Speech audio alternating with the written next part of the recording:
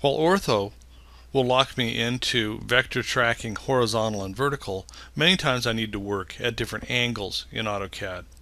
And this is where my polar tracking uh, comes in on my status bar in my drawing aids. Polar tracking, if I right click on that button, you'll notice that I have a series of increments that I can activate and right now it's not enabled. Let's look at the settings for polar tracking.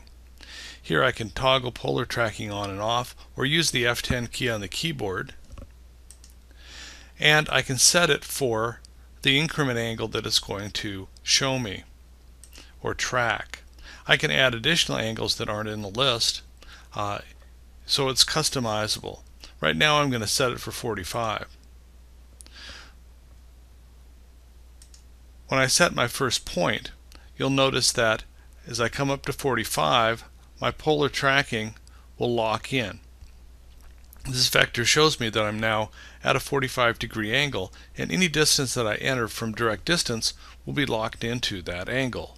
So I'm going to say uh, 3 and enter and that line has now been locked into 45 degrees. I don't have to enter the other angle. And when I set it for 45, it's going to lock in at every increment of 45. So it'll lock in at 90, it'll lock in at 135. I'm going to say 3 again. And as I bring this around, um, it speeds up my drawing because every time I come to an increment of 45, it's going to lock in again.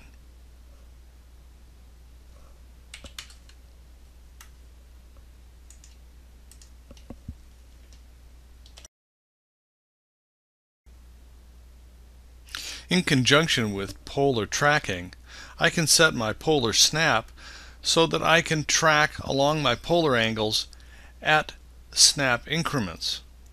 If I go over to my uh, snap and grid, right click and go to settings, one of the options I have for my snap settings is to use a polar snap.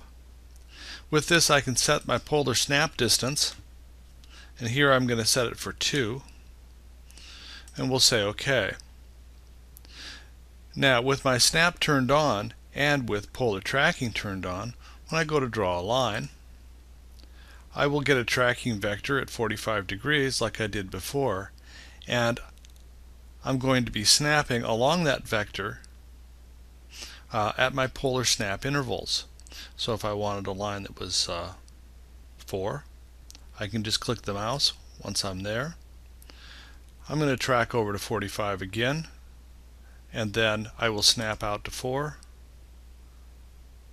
track again snap at 4 and come back. So together my polar snap and my polar tracking can work together for uh, drawing at certain angles. Some of the advantages you might consider in using polar snap and polar tracking as opposed to using your rectangular grid or ortho is that depending on the angle that you've chosen, when I'm drawing, I still have horizontal and vertical lines as being part of my drawing vector. In the case of my snap, my snap is only going to be enforced when I'm in one of my polar vector angles it's going to offer me a suggestion. So here I can just click and accept the value of 4. Here I'm locking in at 45 and it's uh, using an increment of 2, but I can override that. So 1.5. I'm locking in at 0 uh, for a horizontal line. Choosing 2, locking in at 45, and I'm going to override that by entering my own. Here I am at 2. So I have the advantages of still being able to, to draw horizontal and vertical lines. I have the advantages of being able to use a snap, but I don't have them being enforced over the whole rectangular grid.